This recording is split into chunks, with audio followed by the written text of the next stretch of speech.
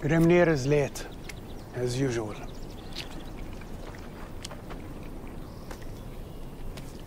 Ah, Alhamdulillah.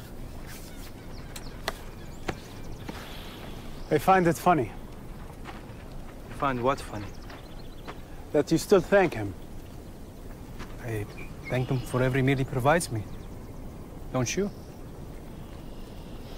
You know, I was born on Thursday under a scorching desert sun long before the first wahi.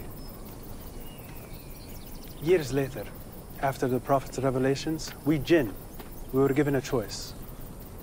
Convert to Islam or live our lives as heretic demons. I chose heretic demon. After all you've seen, you still believe your God is the one true God? Yes, of course I do.